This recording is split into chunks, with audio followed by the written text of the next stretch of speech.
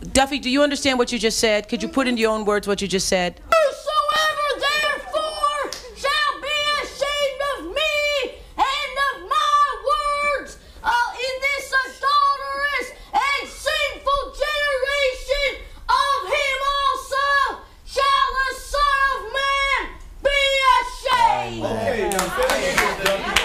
ashamed. In your own word, tell us what does that mean?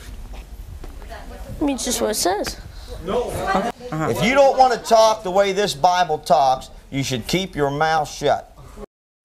Duffy, do you understand what you just said? Could you put into your own words what you just said? Whosoever therefore shall be ashamed of me and of my words uh, in this adulterous and sinful generation, of him also shall the Son of Man be ashamed.